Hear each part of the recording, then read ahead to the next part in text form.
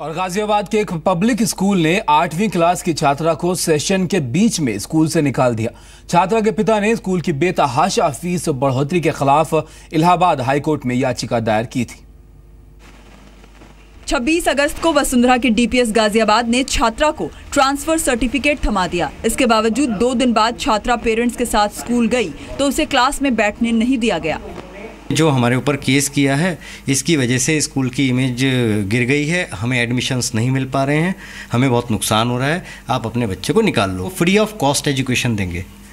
आप आंदोलन वापस ले लो। आप एसोसिएशन छोड़ दो। छात्रा के पिता ऑल स्कूल पेरेंट्स एसोसिएशन के प्रवक्ता हैं। एसोसिएशन स्कूल की मनमानी के खिलाफ आवाज़ उठाती है। स्कूल के खिलाफ छात्रा के पिता ने शिक्षा विभाग से शिकायत की थी।